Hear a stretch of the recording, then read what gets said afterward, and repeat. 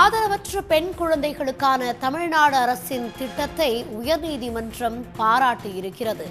ஆதரவற்ற பெண் குழந்தைகள் பயன்பெறும் வகையில் தமிழ்நாடு அரசு உருவாக்கிய திட்டம் உயர்நீதிமன்றத்தின் பாராட்டுதலை பெற்றிருக்கிறது. அரசு கூடுதல் குற்றவியல் வழக்கறிஞர் செந்தில்குமாருக்கு நீதிபதிகள் பாராட்டு தெரிவித்திருக்கின்றனர். சிவகங்கையை சேர்ந்தவர் தாக்கல் செய்த ஆட்புணர்வு மனுக்களை விசாரித்த நீதிபதிகள் தமிழ்நாடு அரசின் திட்டத்திற்கு பாராட்டு தெரிவித்திருக்கின்றனர். காணாமற் போன தனது மக்களை நீதிமன்றத்தில் ஆஜர்படுத்த கோரி ஆட்கொணர்வு மனுவை தாக்கல் செய்திருந்த நிலையில் பனிரெண்டாம் வகுப்பு மாணவியை கண்டுபிடித்து காவல்துறையினர் நீதிமன்றத்தில் ஆஜர்படுத்தி இருந்தனர் இந்நிலையில் பெண் குழந்தைகளுக்கான தமிழ்நாடு அரசின் திட்டத்தை உயர்நீதிமன்றம் பாராட்டியிருக்கிறது.